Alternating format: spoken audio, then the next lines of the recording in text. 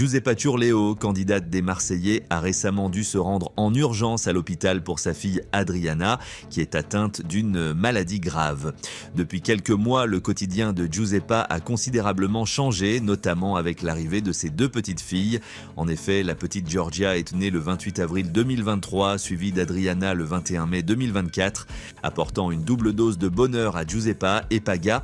Depuis un an, l'influenceuse révélée dans Les Marseillais partage son quotidien de maman avec son million d'abonnés. Cependant, ces derniers jours, la joie semble avoir laissé place à l'inquiétude dans ses stories.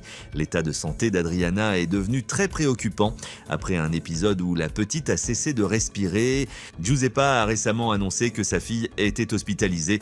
MCE TV vous tiendra informé des développements.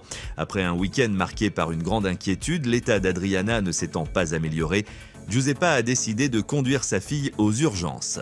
Suite à une série d'examens, le diagnostic est tombé. Adriana est atteinte de la coqueluche, une maladie en forte recrudescence en France ces derniers jours. Malgré ce grand sourire de mon bébé si courageux, les vacances s'arrêtent ici. Direction les urgences. Elle a la coqueluche et les symptômes sont sévères, a annoncé la candidate des Marseillais dans sa story Instagram. Quelques heures plus tard, Giuseppa a donné des nouvelles de sa fille à sa communauté. Nous sommes restés sous surveillance pour la respiration et l'oxygène d'Adriana, en espérant que cela ne se dégrade pas. Autrement, elle aura besoin d'une aide respiratoire. Pour l'instant, Adriana doit rester sous surveillance continue à l'hôpital. Un coup dur pour Giuseppa, très affecté de voir son bébé en souffrance. Nous ne savons pas encore combien de temps nous resterons ici. C'est très difficile pour moi de la voir perfusée et branchée.